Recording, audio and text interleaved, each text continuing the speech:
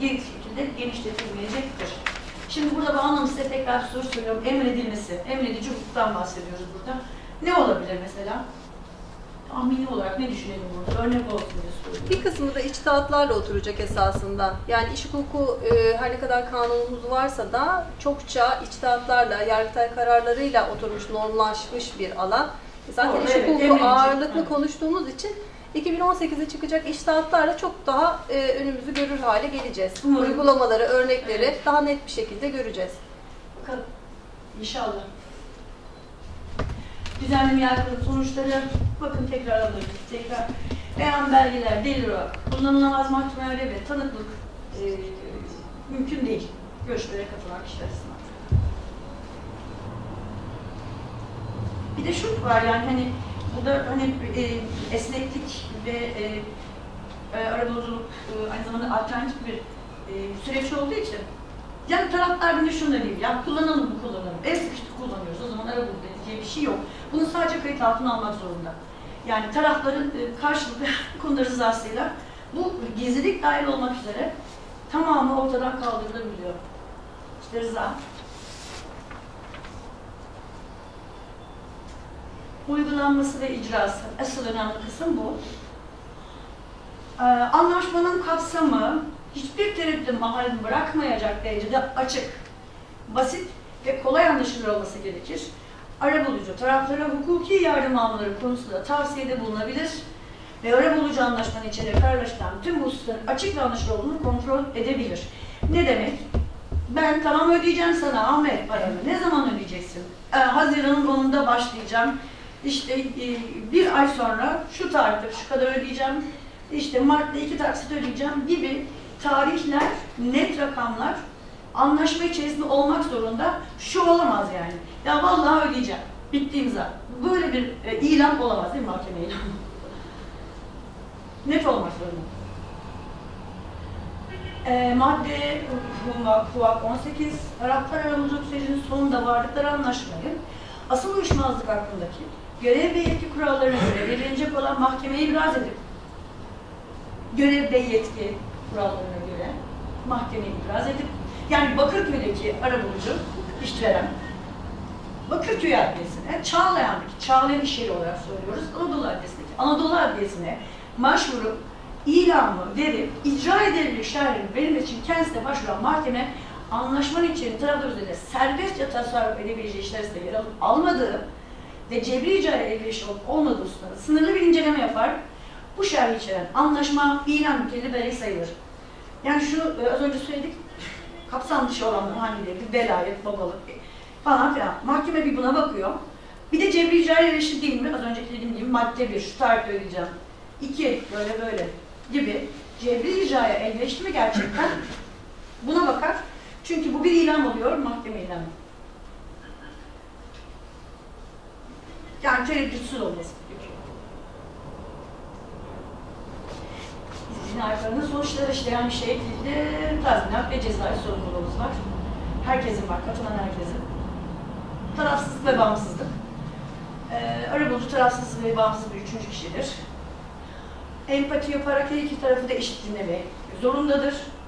Zaten bizim bir başlangıç, aslında keşke onu da okuyabilseydik. bir başlangıç şeyimiz var ya. Hmm, Merhabalar. Bir iki satır söyleyebilir misiniz? Bunu hemen. İsterseniz siz bitirin sonra başlarsanız Tamam bence onu bir mutlaka söyleyelim çünkü burada bir bilgilendirme yapmamız gerekiyordu başlangıçta. Ben onu hazırlamayı unuttum. Yani şöyle biz hemen kendimizi tanıtıyoruz. Adalet Bakanlığı bilmem kim bilmem kim. Ee, işte sicile kayıtlı. Arabulucunuzun herkese eşit davranacağım. Görüşmeleriniz gizlilik, gizlilik kapsamındadır. İradeliktir, şudur, budur. Sonuçlarını anlamak suretiyle bizlerin bu tarafsız bağımsızlığımızı ortaya koymamız gerekiyor. Kişilere eşit olarak süre ayırmamız gerekiyor. evet burada gene e, hakimiyet burada, uyuşmazlıktaki tamamen e, e, taraflara ait. E, burada işte gene aynı yere geliyoruz. Eşitlik çok önemli çünkü mahkemelerde de aynı. Söz verilmeyen avukat veya taraflar duruşmada gerginlik yaşarlar ve hüküm vekilleri sanırlar. Veya taraflar aynı şey. Ya beni dinlemedi. Hakim iki kere, üç kere sorar. Ya sorar, daha sorar. Burada da aynı şekilde eşitlik ilkesi gereğidir ve e, bu anayasal bir ilkedir. Silahların eşitliği ilkesi diye de geçer. Hak ve yükümlülüklerimiz çok hızlıca geçiyor. Bunlar aslında ilgilendirmiyor ama ücret masraf, taraflarla gelişim, gelişim kurula, özenle tarafsız içinde yerine getirme, reklam hesabımız var, taraflı aydınlatma yükümlülüğümüz var. Mutlaka bunu yapıyoruz telefonlarda. E işte ben arıyorum, buyum buyum. E ne iş yapıyorsunuz? Buyum buyum. E gelin beraber bir daha buyum buyum. Ve e, şey bakın şu an yapmış oluyoruz. Biz ne iş yapıyoruz? Buyum buyum. Bunları anlatıyoruz. Aidat ödemek zorundayız. Belgeleri saklamak zorundayız 5 sene. Ve gizliliğe uymak yükümlülüğümüz var. Başvuru, sözleşme, ben bunlar mahkemenin tarafları. Bunların hepsini tekrar ilerleteceğim. Ee, arabulucuya gitmek için yine iradeden bahsediyorum. Yani ihtiyariden bahsediyorum. Zorunlu olandan değil. Tarafların anlaşması gerekmektedir. Ee, bu arabulucuya gideceğiz diye, bir arabulucuya gideceğiz diye. İhtiyarlık bu. Şimdi zorunluluk da farklı tabii. Yani iş davalarında. Ve ihtiyaride şu var, 30 gün içinde cevap vermezse karşı taraf, ki bakın Bülent Bey bir kişisiniz değil mi? Davalarda ilk celsede ön incelemede gönderiyorlar değil mi? Şu anda.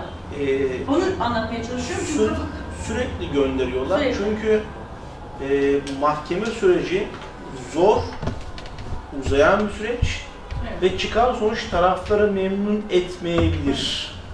Ama ara bulucu da belli bir süre zarfında, örneğin 3 haftalık, 4 haftalık bir süre içerisinde insanları memnun edebilecek sonuçlara da ulaşılabiliyor.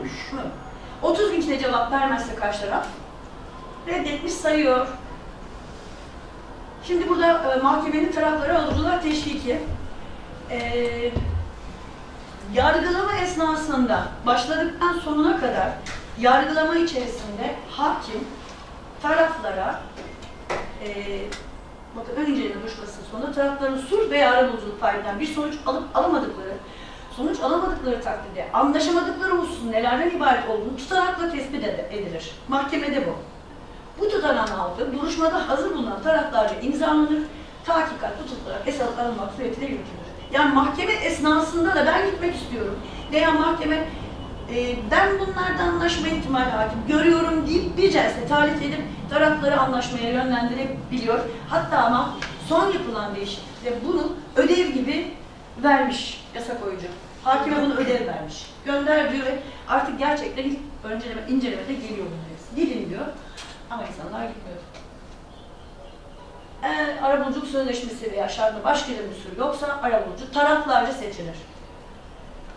Hazırlık. Gerçekleşeceği yer e, mümkün olduğunca ofislerimizde yapmak istiyoruz kontrol sağlayabilmek için.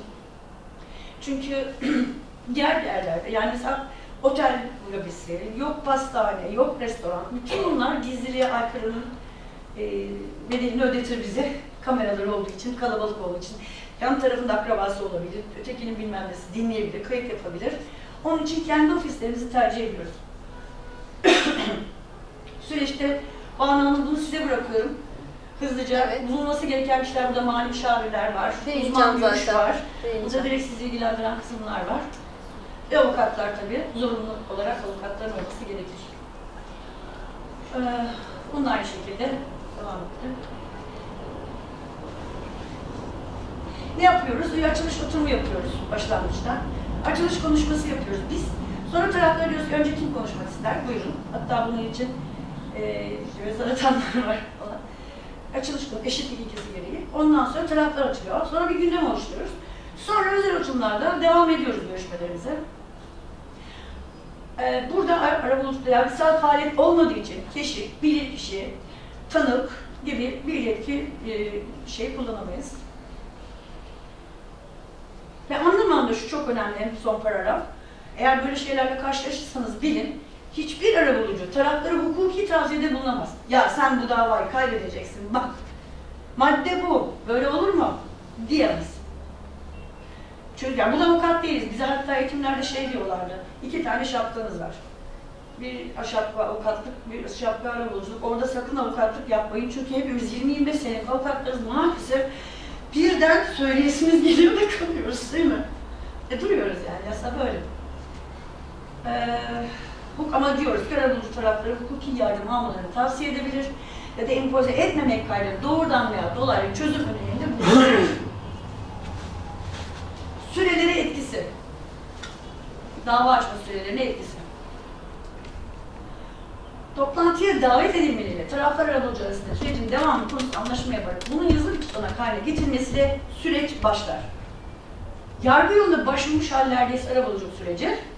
İşte bu hani davet var ya mahkemenin gönderdiği daveti kabul etmesi veya e, mahkeme esnasında veya dışında bir tutanağı geçirip e, geçirip biz devam etmek istiyoruz, arabulucu etmek istiyoruz diye gene tutanakta tespit etmesi halinde e, şey oluyor, e, süreler duruyor.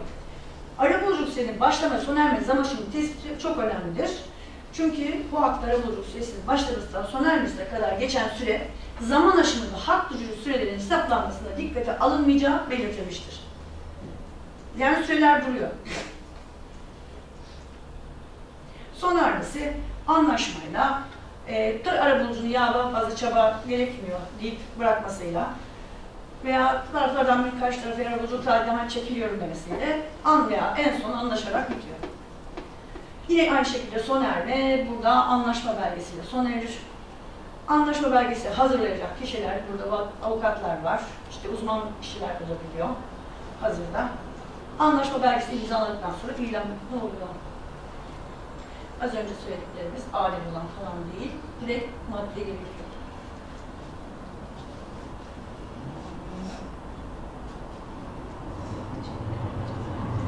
Sıra bitti. Peki. Bu kadar. Biraz Teşekkür teşekkür ederiz.